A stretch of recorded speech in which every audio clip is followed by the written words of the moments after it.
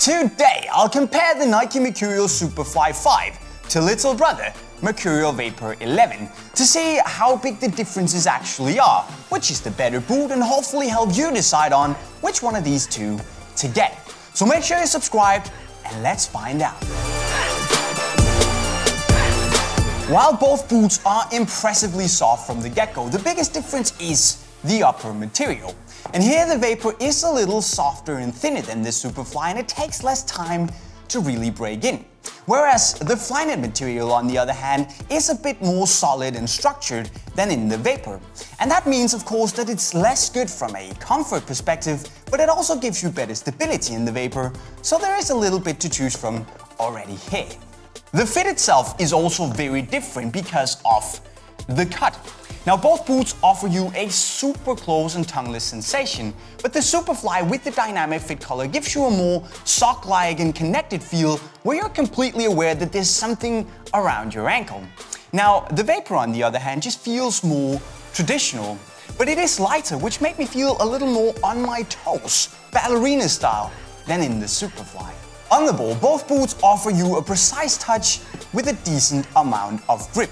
But again, the Vapor is a little thinner and closer to the ball, whereas the Superfly has an extra bit of padding and weight to it. And that's also evident when you shoot, where the Superfly is close to your foot all over the place. So it gives it a bit of an uninterrupted feel, and frankly, it makes me want to put my foot through the ball just a little bit more.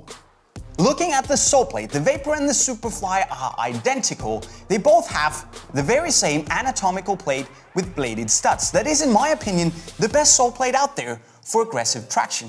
And the deal with this anatomical plate is that it lets your foot sink in to really lock it down. And it works well on both, but there is a little bit more of a solid lockdown in the Superfly because it has the flywire cables. And the Vapor, well, it doesn't. Let's look at the for Superfly 5.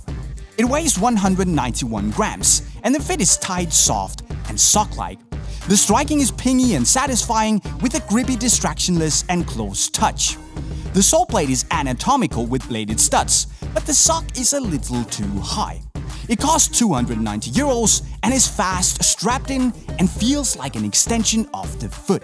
The Vapor 11 weighs 167 grams and gives you a narrow, close and accommodating fit. The striking is clean, close and pingy and has a very barefoot-like touch with good grip. It also has an anatomical plate with bladed studs, but doesn't offer much protection.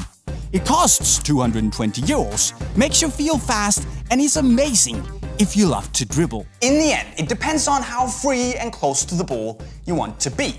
Do you want the sock-like, solid and better lockdown from the Superfly, or the softer, lighter and more nimble Vapor? Me? I'd go with the Vapor. But let me know which boot you choose right down below. Also, don't forget to subscribe by hitting the green bubble right up there, and reward me with a like if you had a good time. I mean, who wouldn't, looking at Mercurials? But guys, with those words, I'm gonna leave you. I'm signing off. Cheerio.